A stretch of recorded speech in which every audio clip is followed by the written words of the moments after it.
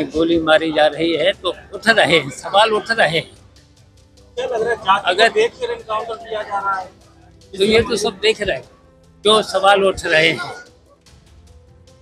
तो उन पर तो सही जाँच होना चाहिए उसकी सही जाँच होना चाहिए। डकैत मंगेश यादव जिसके एनकाउंटर के बाद लगातार सवाल खड़े हो रहे हैं वहीं यूपी की राजनीति भी लगातार बढ़ती जा रही है।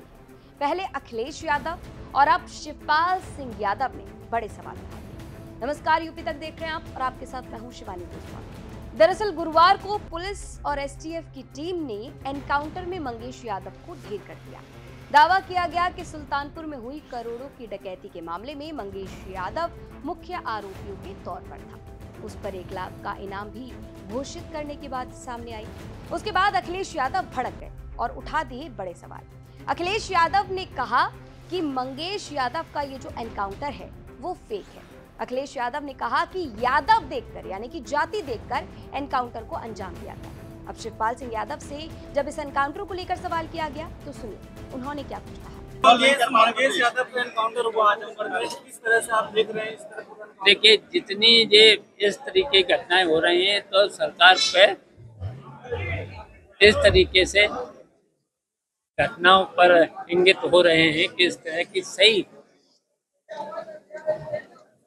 इस तरह की घटनाओं पर जिस तरीके से गोली मारी जा रही है तो उठ रहे हैं सवाल उठ रहे हैं। तो सवाल जब उठ रहे हैं तो इनकी जाँच होना चाहिए ना। अगर- देख कर इनकाउंटर किया जा रहा है?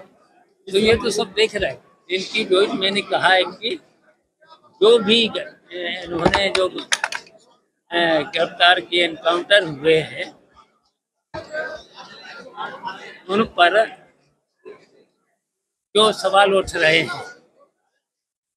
तो उन पर तो सही जाँच होना चाहिए, उसकी सही जाँच होना चाहिए। तो पहले अखिलेश यादव इस एनकाउंटर को फेक बताते हैं। और उसके बाद शिवपाल सिंह यादव भी उसी बात को दोहराते हैं और साफ़ कह देते हैं कि इस एनकाउंटर की जाँच होनी चाहिए। आपको बता दें कि तीन दिन पहले भी सुल्तानपुर डकैती मामले में तीन बदमाश गोली लगने से घायल हुए थे और पुलिस ने उन्हें गिरफ़्तार कर लिया, लेकिन किसी की मौत नहीं हुई। गुरुवार को मंगेश यादव को एनकाउंटर में ढेर कर दिया गया।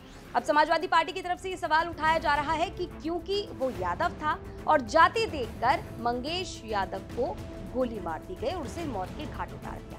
आपको बताएँ कि 28 अगस्त को सुल्तानपुर के थटेरी बाज़ार में ज्वेलरी शॉप पर करोड़ों की लूटपाट की गई। दिन दहाड़े डकैती को अंजाम दिया गया, जिसके बाद यूपी की कानून व्यवस्था पर कई सवाल खड़े हुए।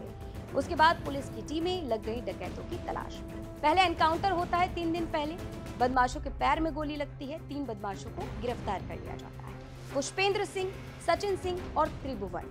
इन बदमाशों के पैर में गोली लगने के बाद उन्हें गिरफ़्तार किया जाता है, लेकिन दो दिन बाद मंगेश यादव को एनकाउंटर में ढेर कर दिया जाता है। अब इस एनकाउंटर के बाद कई सवाल खड़े हो रहे हैं, लेकिन इस पर आपकी क्या राय है? ये हमें कमेंट बॉक्स में ज़रूर बताएँ। ये खबर हमें भेजी थी इटावा से हमारे सहयोगी अमित तिवारी ने, और जैसे कि आप सभी जानते हैं यूपी की तमाम खबरों को जानने के लिए लगातार देखते रहिए यूपी